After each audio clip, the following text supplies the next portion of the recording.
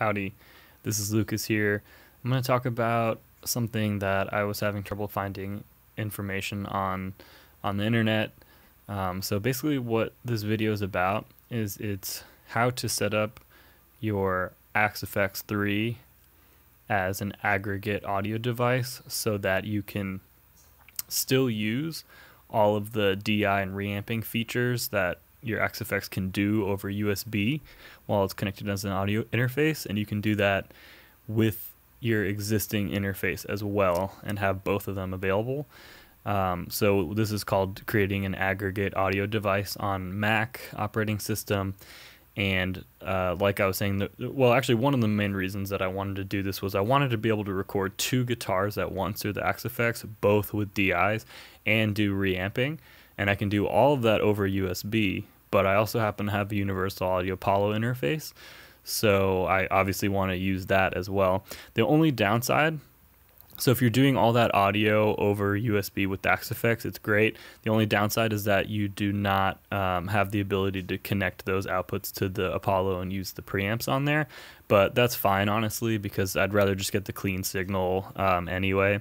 And so basically, uh, there's no need to even connect any uh, quarter inch or XLR cables from the back of your Axe-FX into the Apollo. You're just literally recording through USB on the Apollo. So the main confusing part was really just setting up these audio MIDI, this audio MIDI setup window on uh, on Mac. So I'm going to go through that real quick just to show you how I have this set up. Though I have Axe-FX one, which is like my main output for guitar one and the corresponding DI, and then I have Axe-FX2, which is second guitar or bass, and the DI for that one. So I just save this as a template. I'm just going to go through this one by one though. So if you hit the plus sign here, you can create an aggregate, aggregate device. Um, you will check your main interface first and then check Axe-FX3 and enable drift correction, which should be on by default. Luckily, everything here is labeled because it can get really confusing. So I happen to have uh, 32 inputs on the Apollo x8p, 34 outputs and then the Axe-FX is kind of tacked on over here. So these numbers may vary depending on how much I/O you have.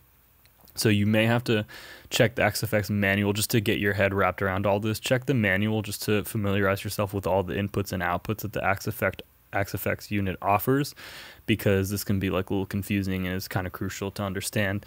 Um, so once you have this going, what I did was I opened up my preferences, input configuration, remember we created a new um, audio device. You can go ahead and select it here. I labeled it Apollo and Axe-FX just so it's crystal clear for my input and output. I opened up my input configuration and I went through all of these and I just have what I need to use right now. So I labeled it clearly and enabled it using these checkboxes. Um, but I just wanted to be like super obvious on Ableton, like what everything's doing. That way it's not confusing at all. Because if it's all numbers, it's so horrible. so um, the Axe-FX ones that I think are a little bit more confusing because you have to read the manual to figure out, uh, you know, what, what each input does. For me, it happens to be 33 through 40, but um, essentially, I have my main output, secondary output, and then both DIs there. So the DIs on the Axe-FX, I believe, are, according to the manual, 5 and 6, and 7 and 8. So that's what we got here labeled. Okay.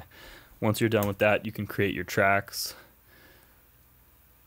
and do it accordingly. I already did this. Actually, save this as a group, and if you just drag your group over here into your places, you can literally have it saved. So I can just drag this out anytime I want to record two guitars with DIs.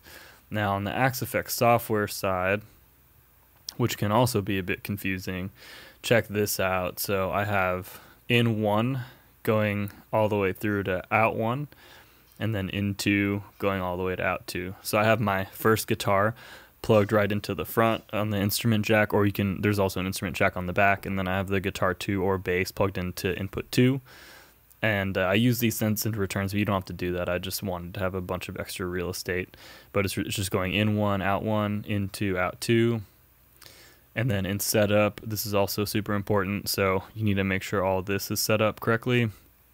Analog, analog. And you need your USB output 7 8 source to be input 2. So this is going to send the DI from input 2 to 7 and 8, which we need to have your DI for the second guitar. And then you need to also check your input levels. So instrument one and instrument two, I turn them down a little bit. This so these two inputs might sound different if uh, like one of the guitarists has uh, like a higher output pickup or whatever so you need to balance that out in the session if you want um, to, to get the gain like sort of dialed in and uh, yeah, that's pretty much it. I hope that makes sense. I couldn't really find much info on this, so let me know if this was helpful and if you have any other tips for like running a setup like this. So we're doing dual interfaces. I've freed up some real estate on my Apollo now so I can connect more stuff there and you don't even need audio cables from your Axe-Fx to your interface. So you're just running at USB only and you plug in your guitars there. So let me know what you guys think. Peace out.